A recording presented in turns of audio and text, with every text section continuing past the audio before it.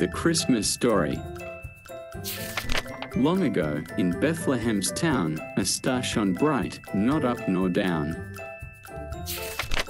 In a stable, humble and small, Mary and Joseph answering the call.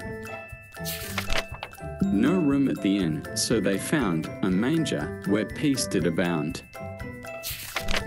Mary, with child, a baby so dear, Jesus was born, angels near.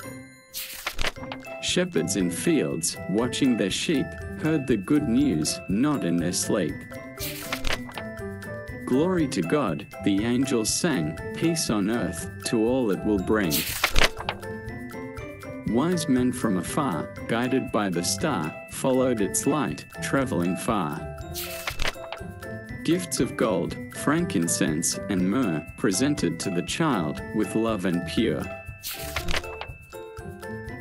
In Bethlehem's night, a Saviour was born, the greatest gift on Christmas morn.